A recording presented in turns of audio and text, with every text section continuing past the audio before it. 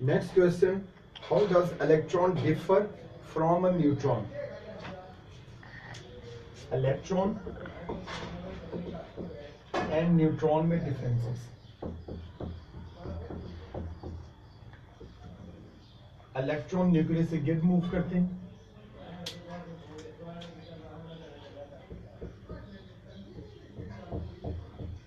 Around the nucleus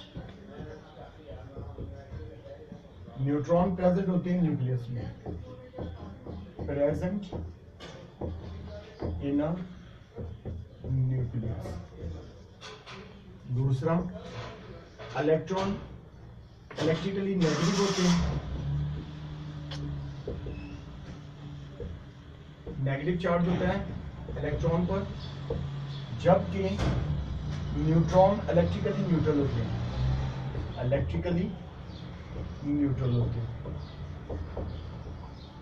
और याद रखिएगा, न्यूट्रॉन को न्यूक्लियर गिलू भी कहते हैं।